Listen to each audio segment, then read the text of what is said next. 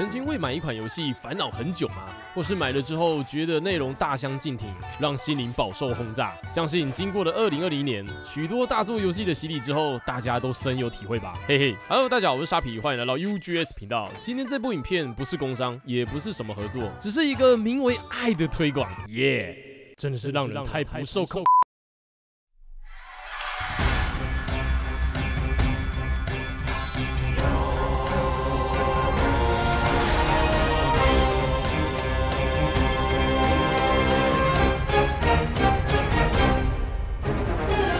还有朋友还没有入坑吗？你还在烦恼到底要不要入手吗？你还在想这游戏到底在玩什么吗？没错，就是《魔物猎人崛起》。今天这部影片一次让你了解，相信在看完这部影片之后，心中的想法就会比较明朗。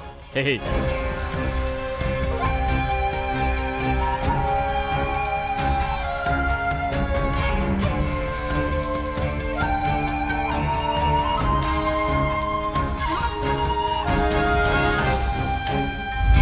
猎人好玩的点到底在哪？战斗、故事、魔物、搜集、培养、成就、共斗，没有错。以上这些呢，全部都是随着故事的发展，体验热血的战斗，收集魔物素材，培养更高成就，不断累积自己的实力，与队友一同踏破极难的高墙，这些都是魔物猎人的魅力所在。Oh yeah！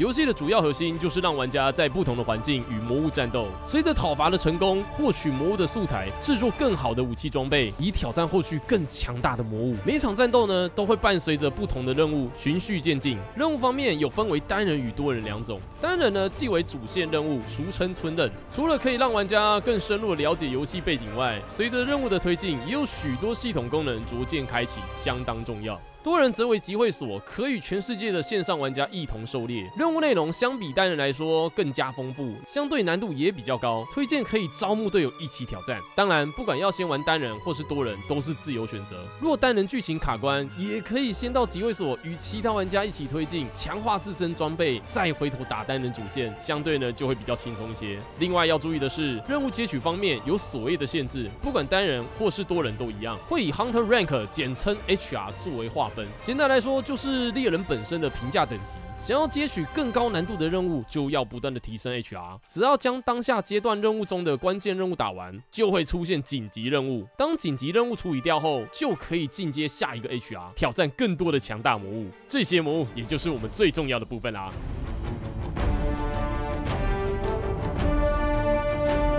身为游戏主角群，每只魔物的设定呢都别有一番风味。随着地理环境的变化，有的身上长满坚毅的岩石，有的呢会发出耀眼的雷电闪光，有的速度还会快到完全跟不上，甚至有些更是梦幻传说般的存在。而正是这些，让游戏充满各种魅力与特色，也是每位玩家之间讨论度非常大的话题。啊，例如这个天眼啊，不是，我是说首领炮龙，嘿嘿。除了有吸引人的设定，魔物们也都各自身怀绝技，会用尽一切让玩家猫车电。的、劈的、揍的、爆炸的、土破坏死光的，各种能想到的应有尽有。而就是这股高墙，让每只魔物的挑战性都相当高。但当跨越之后，那种成就感却是什么都无法相比的。好比怨狐龙，相信各位这段时间在体验版中挑战了不少次吧？呃，真的是被他碾到一个爆炸。攻击招式除了很帅气，也是痛到一个不行。时常呢就莫名其妙的直接猫车回家。当下可能会想，哇，试玩版就这样了，那正式版该怎么办？嘿嘿，其实没那么夸张。主要原因试玩版的装。装备呢都是固定的，实际的技能与数值也是不明。能确定的是强度绝对不高，加上讨伐时间也就整整十五分钟，所以这次体验版的怨虎龙会这么强势就可想而知。等进入正式版后，绝对是另一个风景。装备选择上会非常多，每件自带的技能也会不同，能依照使用的武器去做装备混搭。但光只有装备还不够，需另外搭配所谓的装饰品来强化自己，好比技能珠、护石，还有这次新增的结花环。技能珠可透过制作。获得种类非常多，例如攻击珠、看破珠、回避性能、集中等等，很多很多，可以自由镶嵌在装备上，满足所需触发的技能等级需求。例如看破这项技能最高为七等，一套装备呢自带看破四，剩下的三等呢就可以利用技能珠或是护石将其撑上去，以达到所需的技能门槛。当然，不懂这些技能有什么用处，游戏中呢也有说明可看，建议一定要详读。毕竟使用什么武器，面对什么魔物，当下的战况如何等等，所配。配置的技能与装备都很重要。好的配置会在狩猎上大大的加分。另一边，护石这项饰品与装备类似，除了自带技能外，有些会带有技能槽、弓镶嵌技能珠。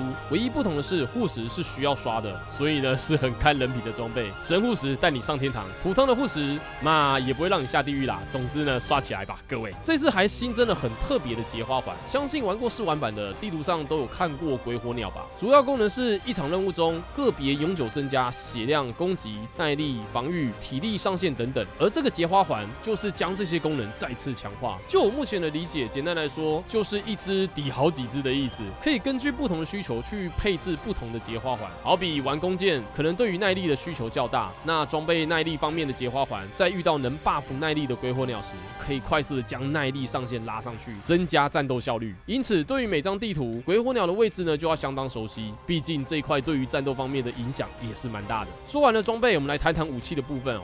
崛起呢，在战斗上共有十四把武器可供选择，每一把的外观除了都相当独特外，战斗风格也格外有个性，值得钻研。承袭了世界冰原的流畅操作，引入了新系统降虫机制，融合了大量 double close 的受击动作，让每把武器都有属于自己的独特战斗风格与招式，回避、派生、强化、攻击、反击等等都不在话下。加上有复数的降虫招与一般攻击可供替换的交换技，使战斗的方向有更多的选择。简单来说，一般攻击。的变化加上不同技能招式的搭配，让崛起在战斗方面呢，想必会有相当多的玩法与流派。同一只魔物，不同的武器，不同的招式搭配，让每一次战斗都有不一样的体验。更不用说多人共斗的战况，简单两个字，耐玩。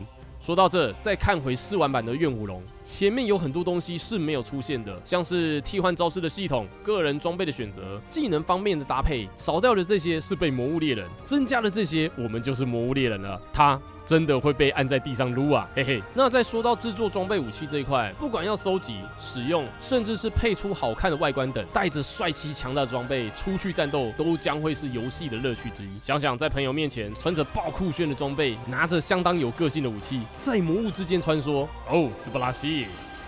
不过我还是会选择火牙，嘿嘿。另一方面，出产这些武器装备的神火村也是相当重要的地方，在这里可以培育自家的随从猫狗，囤积平时战斗上所需的战备资源，透过多功能的训练场增加实战上的能力，还有出任务前可以吃个猫饭，让自己的战斗能力提升。最重要的就是这些美丽、帅气又可爱的 NPC 啦。哦，火牙，斯巴拉西。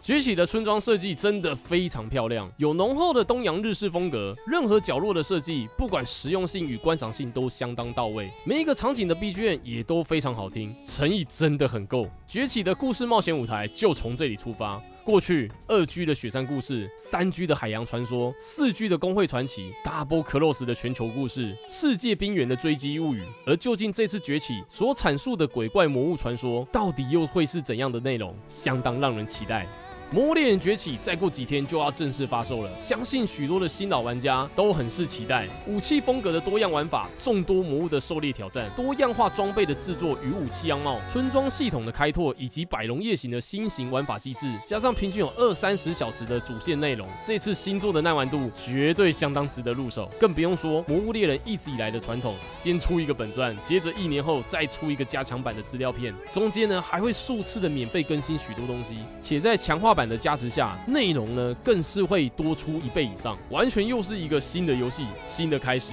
能说不香吗？总之，如果对于动作游戏相当热衷的玩家，绝对超级推。想要感受战斗的刺激，挑战跨越的成就感，想要钻研各种武器，尝试不同的战斗风格，或是体验与朋友一同狩猎游玩的乐趣吗？这些《魔物猎人崛起》绝对都可以满足你。还在思考要不要入坑？三月二十六号快到了，不用犹豫了，来吧！